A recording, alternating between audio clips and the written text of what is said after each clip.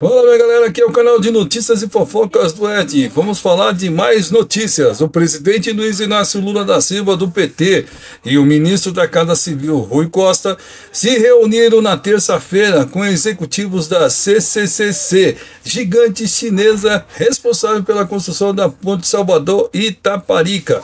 A reunião aconteceu uma semana antes da visita do presidente da China, Xi Jinping, ao Brasil. O mandatário do país asiático participará da cúpula do G20 no Rio de Janeiro entre os dias 18 e 19 de novembro.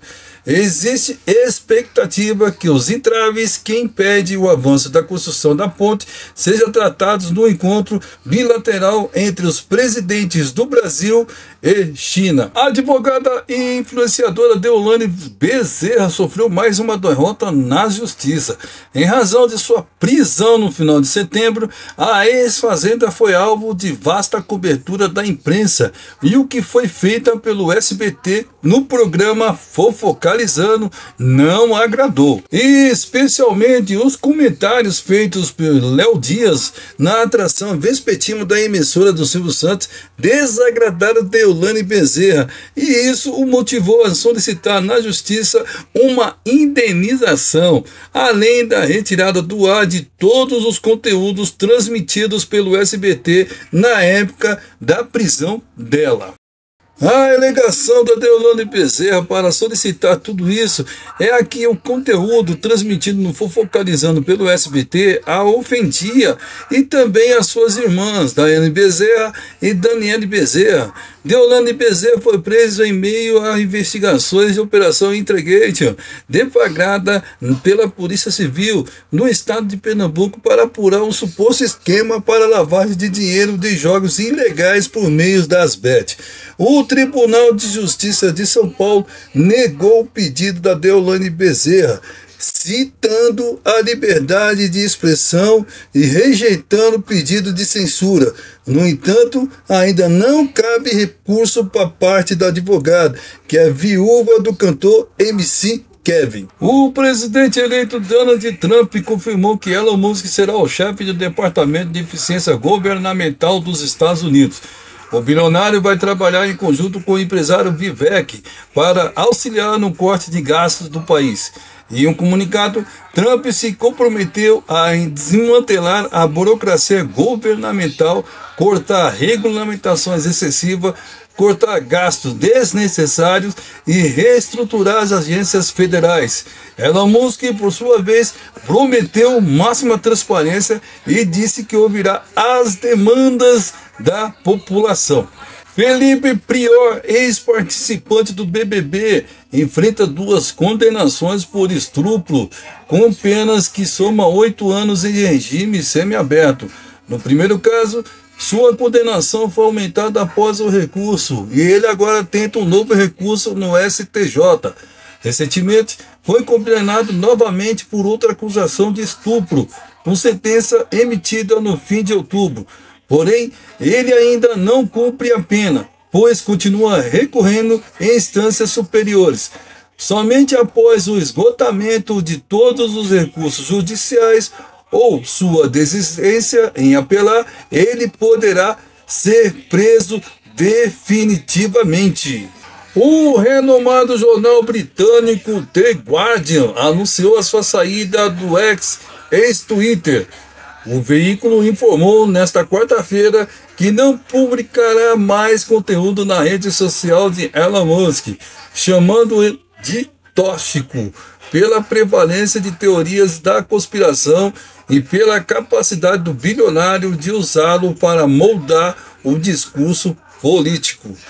Achamos que os benefícios de estar no ex-Twitter agora são superados pelos negativos e que os recursos poderiam ser melhor utilizados promovendo nosso jornalismo em outros lugares, disse o jornal, que possui mais de 27 milhões de seguidores na plataforma. A mídia social pode ser importante também para organizações de notícias e nos ajudar a alcançar novos públicos, mas nesse ponto o X ex-Twitter agora desempenha um papel diminuído na promoção do nosso trabalho, concluiu o veículo. Veja só, durante a participação no programa da Tata Werneck, Letícia Spiller afirmou que recomenda que todas as amigas experimentem os seus ex-maridos. Mas você já parou para pensar quem é um ex-marido? Marcelo Novas. Mas a atual namorada do ator parece não ter gostado dessa fala já compartilhou fotos com ele e usou a legenda: Não dê ouvidos à maldade alheia. Virgínia Fonseca usou as suas redes sociais na manhã desta quarta-feira para fazer uma declaração à sogra, Poliana Rocha, que está completando 48 anos de idade. Na publicação, a influenciadora se destacou um bom relacionamento com a mãe de Zé Felipe. Hoje em dia é todo dela. Poli, você sabe do meu amor por você e da nossa cumplicidade. Desde que conheci o Zé, você sempre fez questão de me ajudar e estar presente em todos os momentos, sejam eles bons ou ruins, iniciou a empresária na homenagem. Virginia Fonseca declarou que Poliana é uma segunda mãe para ela. Agradeço a Deus por ter me dado uma sogra igual a você, uma segunda mãe, irmã, amiga enfim, sei que posso contar com você vice-versa. Saiba que eu sempre estarei com você no que precisar. Que Deus abençoe a sua vida. Lhe dê muita saúde, amor, sucesso, sabedoria e paz. Te amamos muito. Conta o seu dia, pois você merece as melhores coisas do mundo. Finalizou a artista. A rainha da bateria da Mocidade Independente de Padre Miguel, Fabíola de Andrade, preocupa a agremiação. Desde a prisão do Rogério Andrade, em 29 de outubro, a mulher do bicheiro não apareceu mais na quadra de escola em nenhum dos eventos oficiais, como a final da escolha do samba ou na comemoração pelos 69 anos há dois dias. Com isso, o Reinaldo da influenciadora já é uma dúvida em 2025. Ela está muito triste e com a cabeça mil e conversou com a direção da escola, que entende a sua situação e pediu um tempo longe. Conta uma fonte ligada a rainha. Vamos lá, saiba tudo sobre o especial de fim de ano que promete surpreender no SBT.